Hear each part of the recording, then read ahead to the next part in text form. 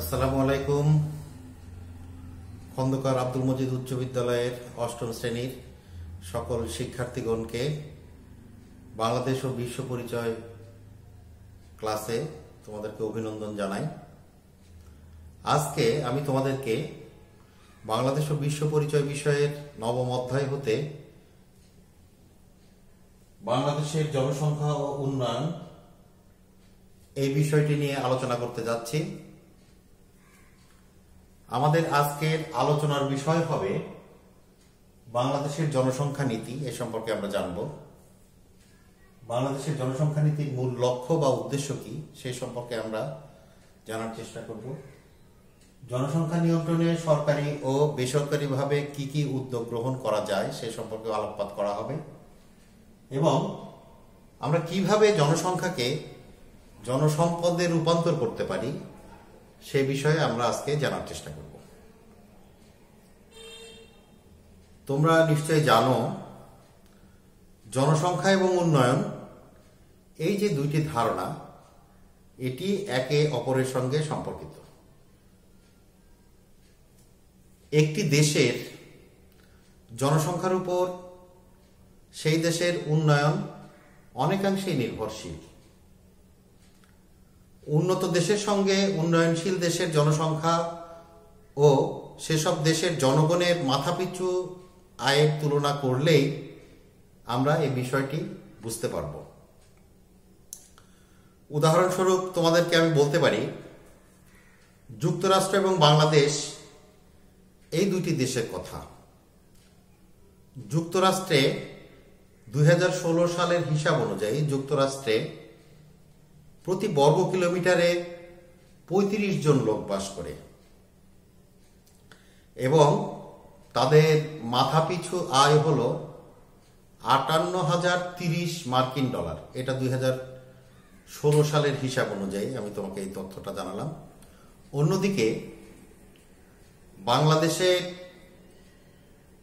প্রতি বর্গ কিলোমিটারে বারোশো বাউন্ন জন জনগণ বসবাস করে। এটিও ষোলোশো এবং তাদের মাথাপিছু আয় হল ষোলোশো দশ মার্কিন ডলার। আমাদের এই যে তথ্যটি তোমাকে উপস্থাপন করা হলো তোমাদেরকে, সেটি দুই হাজার ষোলো সালের তথ্য, দুই হাজার সতেরো সালের তথ্য। একটি দেশ ভবিষ্যতে কতটা উন্নতি করবে, সেটা নির্ভর করে হলো দেশটির অর্থনৈতিক পরিকল্পনা এবং তার জনসংখ্যা নীতির কার্যকর প্রয়োগের উপরে। বাংলাদেশের মতো একটি জনবহুল এবং উন্নয়নশীল দেশের বেলায় এ কথাটি আরও বেশি কার্যকর বা সত্যি।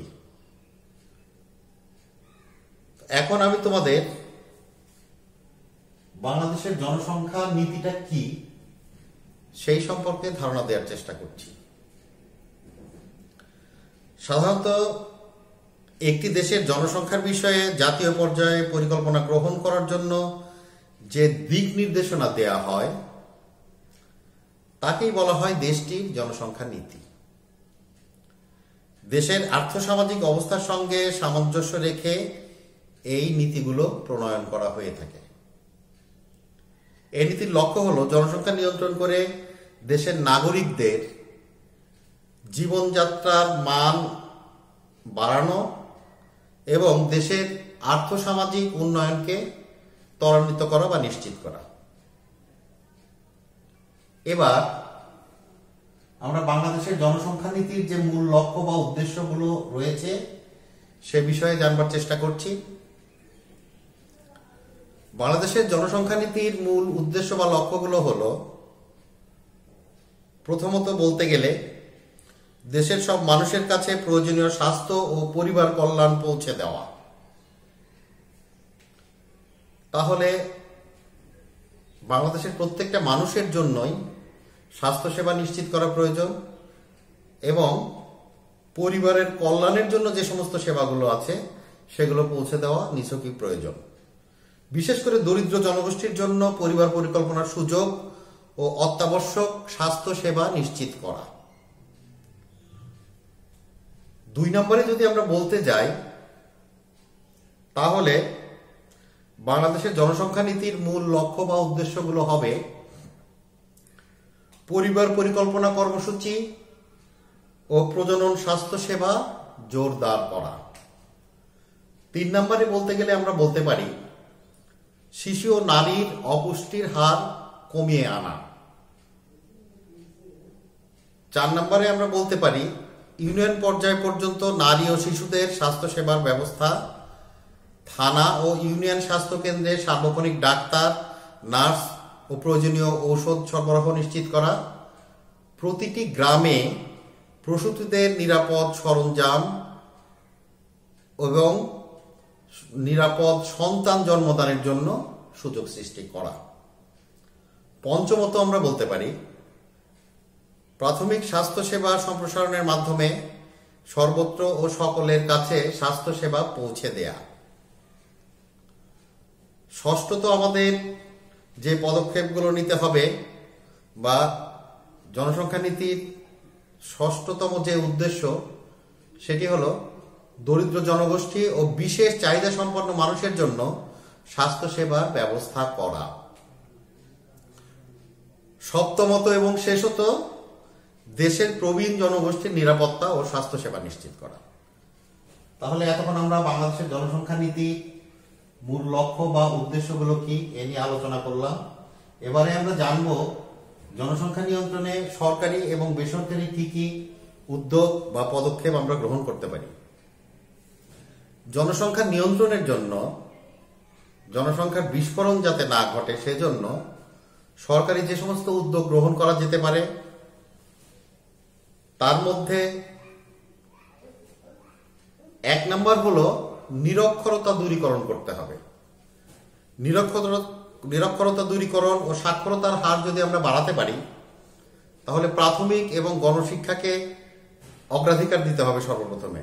সেক্ষেত্রে সরকার দুই হাজার চোদ্দ সালের মধ্যে নিরক্ষতা, নিরক্ষরতা দূর এবং দুই হাজার পনেরো সালের মধ্যে সবার জন্য শিক্ষা নিশ্চিত করার জন্য পরিকল্পনা গ্রহণ করেছিলেন। ইতিমধ্যে এই কর্মসূচি শতভাগ অর্জিত না হলেও প্রায় অর্জনের পথে। দ্বিতীয়ত, সরকার নারী শিক্ষা প্রসারের জন্য ব্যাপক কর্মসূচি গ্রহণ করে, তোমরা জানো, যেমন প্রাথমিক থেকে মাধ্যমিক স্তর পর্যন্ত শিক্ষার্থীদের বিনামূল্যে পাঠ্য বই সরবরাহ করা হয়, যা প্রতি বছর জানুয়ারি মাসের এক তারিখে শিক্ষার্থীদের হাতে তুলে দেওয়া হয়। এইটা ষষ্ঠ থেকে দ্বাদশ শ্রেণি পর্যন্ত সরকার আবার পাঠ্য বই সরবরাহের পাশাপাশি শিক্ষার্থীদের আবার উপবৃত্তিও প্রদান করে থাকেন। তৃতীয়ত, সরকার নাগরিকদের চিকিৎসা সেবা নিশ্চিত করার জন্য একটা পরিকল্পনা গ্রহণ করেছেন। একই সঙ্গে পরিবারের আকৃতি ছোট রাখার জন্য স্বাস্থ্য এবং পরিবার কল্যাণ কার্যক্রম সরকার চালু করেছেন চতুর্থত, বিবাহ রেজিস্ট্রেশনের জন্য কাজী অফিসের উপরে জোর দেয়া হয়েছে। পঞ্চমত হাঁস মুরগির খামার এবং মাছ চাষের মতো আয় বৃদ্ধিকর যে সমস্ত কর্মসূচি আছে এবং নারীদের যে সমস্ত কাজে অংশগ্রহণ করানোর পাশাপাশি তাদের আয় উন্নতির ব্যবস্থা করা যায়, সে সমস্ত বিষয়ের উপরে সরকার বেশ গুরুত্ব আরোপ করেছেন। তাছাড়া পোশাক শিল্প, কারুশিল্প এবং অন্যান্য হস্ত এবং কুটির শিল্পের বিভিন্ন বিষয়ের উপরেও বাংলাদেশ সরকার নারীদের প্রশিক্ষণের ব্যবস্থা গ্রহণ করেছেন। এরপরেও আমরা লক্ষ্য করে থাকি, সরকারের গৃহীত পদক্ষেপগুলোর কারণে শিশু মৃত্যুর হার অনেকটাই কমে গেছে এবং এক্ষেত্রে সরকার সাফল্য অর্জন করায় দুই হাজার দশ সালে জাতিসংঘ পুরস্কারে ভূষিত হয়েছে বাংলাদেশ। এছাড়াও নারীর ক্ষমতায়নের জন্য নারীদের শিক্ষকতা সহ চাকরির ক্ষেত্রে আমাদের বাংলাদেশ সরকার কোঠা প্রথা ব্যবস্থাটি চালু করেছে। এখন এখান থেকে তোমাদের দুটো প্রশ্ন করা যেতে পারে, যেটা তোমাদেরকে বাড়ির কাজ হিসেবে দেয়া যাবে। একটি হলো, আর্থসামাজিক উন্নয়নে জনসংখ্যা নীতির ভূমিকা আলোচনা করো।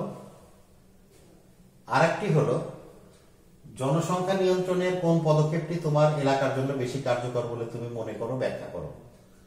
এখানে হোয়াইট বোর্ডে যে প্রশ্নগুলো দেয়া আছে এই প্রশ্নগুলো তোমাদের জন্য এই পাঠের আলোচনা শেষে এই প্রশ্নগুলো তোমাদের জন্য বাড়ির কাজ হিসেবে থাকবে। এছাড়াও এই অধ্যায়ের একটি সৃজনশীল প্রশ্ন আছে, যেটিও তোমাদের বাড়ির কাজ হিসাবে এই প্রশ্নগুলো থাকবে এবং তোমরা বাড়িতে এগুলো নিয়মিত চর্চা করার চেষ্টা করবে। তদুপরি আরও দুইটি বিষয় বিদ্যমান, যেটা নিয়ে আমাদের এখন আলোচনা করার প্রয়োজন। এক নম্বর হলো জনসংখ্যা নিয়ন্ত্রণে সরকারি ও বেসরকারি উদ্যোগগুলো কি কি? এখানে আমরা সরকারি উদ্যোগ সম্পর্কে জানতে পারলাম। বেসরকারি উদ্যোগ সম্পর্কে আমি তোমাদের বলতে যাচ্ছি। এরপরে থাকবে জনসংখ্যাকে জনসম্পদে রূপান্তরের কৌশলটা কি? সেটি আলোচনা করতে হবে। তো জনসংখ্যা নিয়ন্ত্রণের যে সমস্ত বেসরকারি পদক্ষেপ আছে, সেগুলো নিয়ে এখন আমি তোমাদের সামনে আলোচনা করতে যাচ্ছি। সরকারের পাশাপাশি বেসরকারিভাবেও বেশ কিছু প্রতিষ্ঠান জনসংখ্যা নিয়ন্ত্রণের জন্য কাজ করে থাকে। যেমন, স্থানীয়, জাতীয় এবং আন্তর্জাতিক পর্যায়ের বেসরকারি উন্নয়ন সংস্থা, যেগুলোকে আমরা এনজিও বলি নন গভর্নমেন্ট অথরিটি বাংলাদেশের জনসংখ্যা নিয়ন্ত্রণে গুরুত্বপূর্ণ ভূমিকা পালন করে। মুক্তিযুদ্ধের পরে বাংলাদেশের মানুষকে পুনর্বাসনে মাধ্যমে তারা তাদের কাজ শুরু করে। বর্তমানে এই সংস্থাগুলোর কাজের একটি গুরুত্বপূর্ণ ক্ষেত্র হচ্ছে জনসংখ্যা নিয়ন্ত্রণ। এবং পরিবার পরিকল্পনা পদ্ধতি। জনসংখ্যা নিয়ন্ত্রণে বাংলাদেশে কর্মরত বেসরকারি উন্নয়নগুলো যে সমস্ত কার্যক্রম চালাচ্ছে, সেগুলো হলো, এক নম্বরে যদি আমরা বলতে যাই, তাহলে কমিউনিটি ভিত্তিক পরিবার পরিকল্পনা প্রকল্প। এই প্রকল্পের আওতায় গ্রাম এবং শহরের দরিদ্র জনগোষ্ঠীকে পরিবার ছোট রাখার জন্য পরামর্শ দেয়া হয়। পরিবার পরিকল্পনা পদ্ধতি গ্রহণে তাদের উৎসাহ দেয়া হয়। এই প্রকল্পের আওতায় মা এবং শিশুদের স্বাস্থ্যসেবা, টিকা, ইনজেকশন ও পুষ্টি শিক্ষা বিষয়েও সেবা প্রদান করা হয়। তাহলে কমিউনিটি ভিত্তিক পরিবার পরিকল্পনা পদ্ধতিতে আমাদের বাংলাদেশের জনগণ এই সেবাগুলো পেয়ে থাকে। দ্বিতীয়ত, দুই সন্তানের পরিকল্পিত পরিবার গড়ার লক্ষ্য বাস্তবায়নের জন্য সরকার কাজ করে থাকে। এজন্য বাংলাদেশ সরকার একটি স্লোগান নির্ধারণ করেছেন।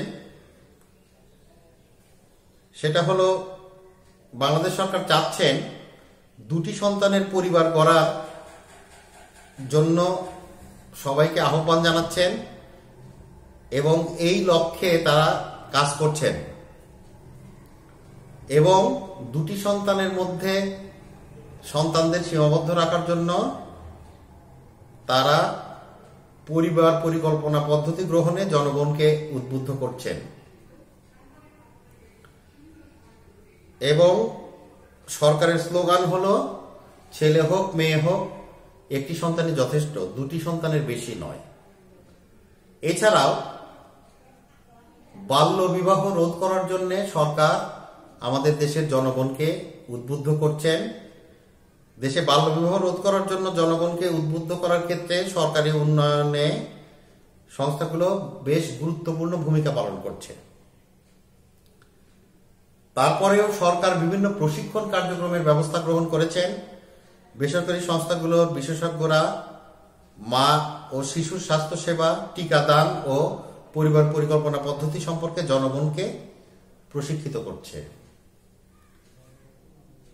তদুপরি সরকার সচেতনতা কার্যক্রম চালাচ্ছেন, যেখানে জনসংখ্যা সমস্যা মোকাবেলায় বেসরকারি সংস্থাগুলো জনগণকে সচেতন করার জন্য নানা রকম উপকরণ তৈরি করে ব্যবহার করছেন, যেমন পরিবার পরিকল্পনা বিষয়ে সাময়িকী, poster, calendar, chart newsletter documentary সহ ছোট ছোট শর্ট ফিল্মও সরকার তৈরি করছেন।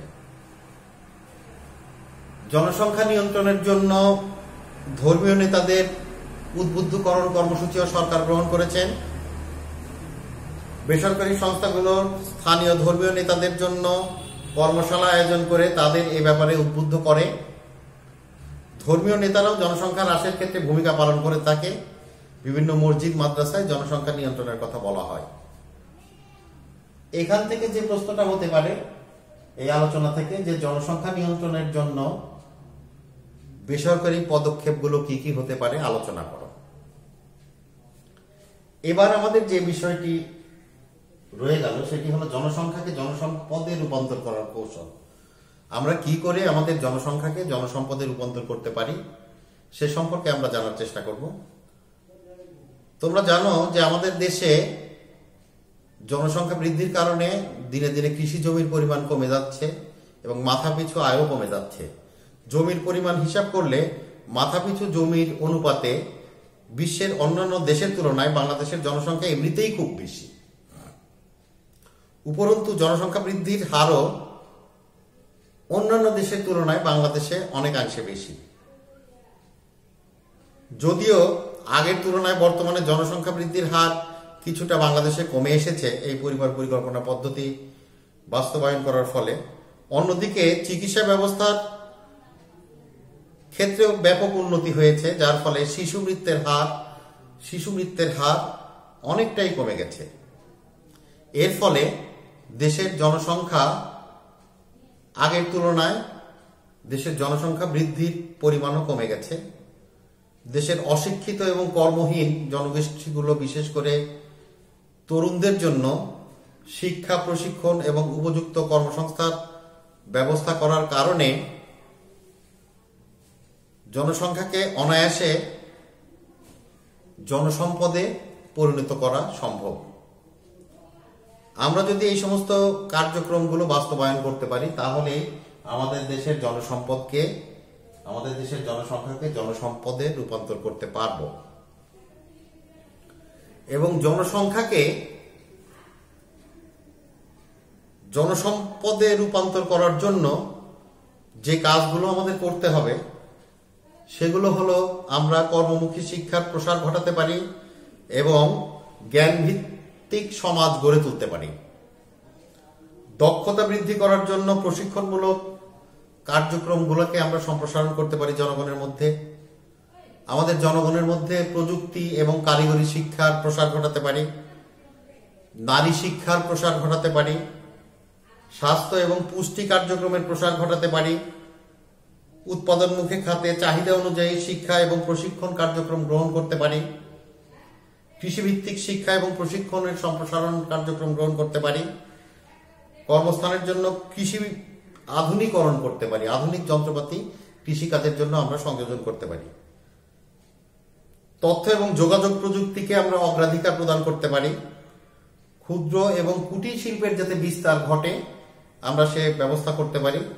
সরকারি এবং বেসরকারি উদ্যোগে আমাদের যে সমস্ত মেধাবী শিক্ষার্থী আছে, তাদের উচ্চতর পড়াশোনার ক্ষেত্রে বিশ্বের উন্নততম দেশে প্রেরণ করতে পারি এবং তাদের জন্য আমরা বৃত্তির ব্যবস্থা করতে পারি। তো আজকের পাঠে আমরা বাংলাদেশের জনসংখ্যা এবং উন্নয়ন সম্পর্কে বিশেষ চারটি টপিকস নিয়ে কথা বললাম এবং তোমাদেরকে বাড়ির কাজ হিসাবে তিন নম্বরে যে প্রশ্ন দেওয়া আছে, জনসংখ্যা নিয়ন্ত্রণে বেসরকারি ও বেসরকারি সরকারি সংস্থাগুলো কি ভূমিকা পালন করতে পারে আলোচনা করো। কীভাবে জনসংখ্যাকে জনসম্পদে পরিণত করা যায় এ বিষয়ে আলোচনা করো। তো তোমাদের এই বাড়ির কাজের জন্য যে পাঁচটি প্রশ্ন দেওয়া হলো, সেটা তোমরা বাড়িতে প্র্যাকটিস করবে। পরবর্তী ক্লাসে আবার তোমাদের সাথে দেখা হবে। তোমরা ভালো থাকো, সুস্থ থাকো। এই কামনায় আমি এস এম গোলাম আম্বিয়া, সহকারী শিক্ষক কম্পিউটার। অস্থায়ী খন্দকার আব্দুল মজিদ উচ্চ বিদ্যালয় তোমাদের কাছ থেকে বিদায় নিচ্ছি। আসসালামু আলাইকুম।